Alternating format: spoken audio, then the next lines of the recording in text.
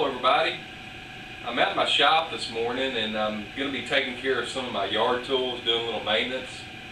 And I thought I'd invite you along to kind of show you how I sharpen a garden hoe. This hoe here is particularly my favorite. I like a, a, a wide plate on a hoe. I like to be able to work a lot of ground and, and I love it to be very sharp. Uh, so let me kind of show you around and uh, show you how I do it. First thing I'm going to get is this uh, bastard file. This is a, a pretty coarse here, uh, but that's the first thing I'm going to use. The second thing is this puck sharpener. Uh, this is really handy when you're sharpening uh, an axe or a, a, garden hoe, anything that uh, that you've got to sharpen that uh, that might use this kind of application. It makes it really handy. I've got the hoe here in a, uh, just a simple vise. It's got wood on the inside of the vise to keep from marking my handle. I'm definitely going to put gloves on while I do this. I've cut myself one too many times sharpening stuff this way. But basically I'm going to take the file and I'm going to find the right angle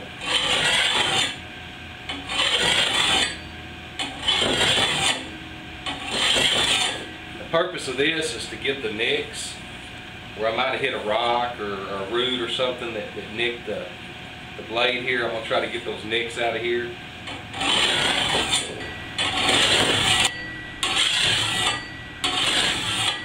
I'm just going to take it gently across the back parallel with the hole, just to get anything back there.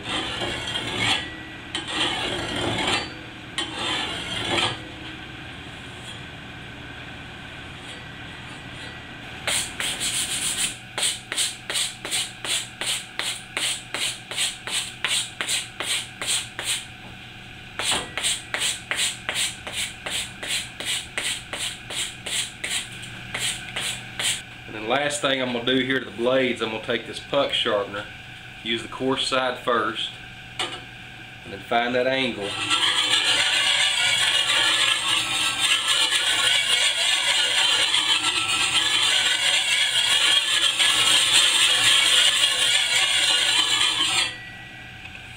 Okay, and then I'm going to turn it over to the fine side.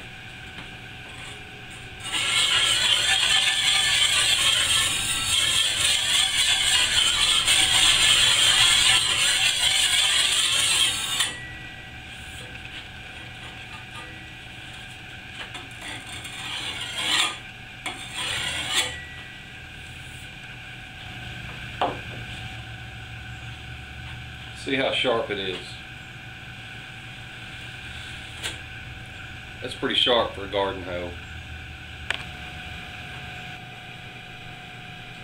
Next thing is I'm going to get some uh, lubricant and some boiled linseed oil for the handle.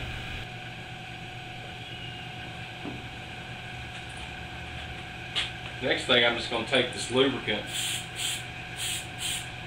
trying to get me a layer of protection on that metal. And then just gently wipe it off.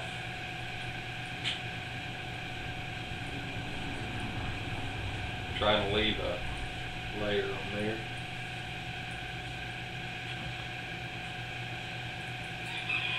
The last thing I'm going to do is use this boiled linseed oil. Use it on the wood here.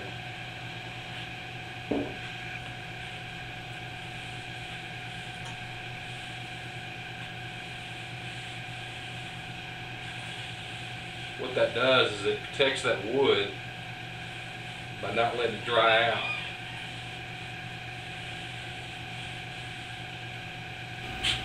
this particular garden hoe here is a couple years old now and uh, if I take care of it like that I think this will probably last my lifetime.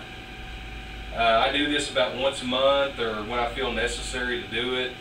Uh, our soil's been really wet and uh, I've had to take some extra caution taking care of my tools. But anyways, guys, I hope you might have learned something, and I uh, hope you guys have a great day. We'll see y'all later.